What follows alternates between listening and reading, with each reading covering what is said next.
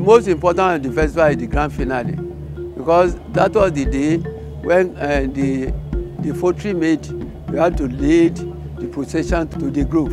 He be the first person to leave the palace. When Arugba leaves the palace, His Royal Majesty we have to follow to witness the great Ọ̀ṣun Òṣogbo festival.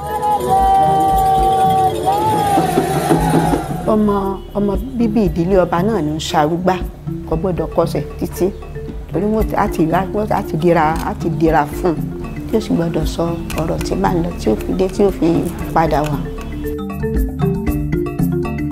Our culture will be exhibited during that day.